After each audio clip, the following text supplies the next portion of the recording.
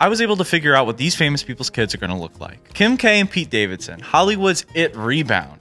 And here's what their kid is going to look like. Androgyny at its finest. I can smell the Pete Davidson from here. Next is Cardi B and Offset's kids. That's just offset in a wig. Don't they have a kid together? They have two. Yeah, okay. Why would I lie? Well, do they look like that? They're like five. After that, we have Trisha what Paytas. weird shit do you have? Okay, that's my dude? personal art- Whose kids is this supposed to be? Steve Harvey and Miley Cyrus. But the chances are slim since Steve's a player. I think it's zero. Who the f is this? Tom Hanks and Tom Cruise. You put them together because both Yeah, their both their names are Tom. Yeah, no sh- Is this just a photo of Chris Farley? No, it's Dan Schneider and Quentin Tarantino. I put them together because. I because get why you put them together, man.